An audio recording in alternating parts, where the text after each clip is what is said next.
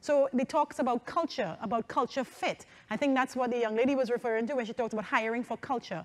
We now at Facebook, every Monday morning when we get a new class of hires, and the reason I say it's 9,000 now, it was six last year, is to show you the growth, right? Mm. Um, every Monday morning when we get a new class of hires, they meet with me before they get their computers and their devices. Mm. And that is because diversity is so critical for us. We think it is so important that I meet with them and I say, I don't want you to come in here and ever use blind as a suffix.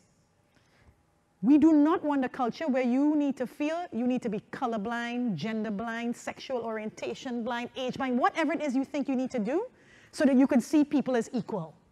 Because by doing that, you are reducing one of the most important characteristics of that person, which we need for the company that we are and for the products we want to build. Mm.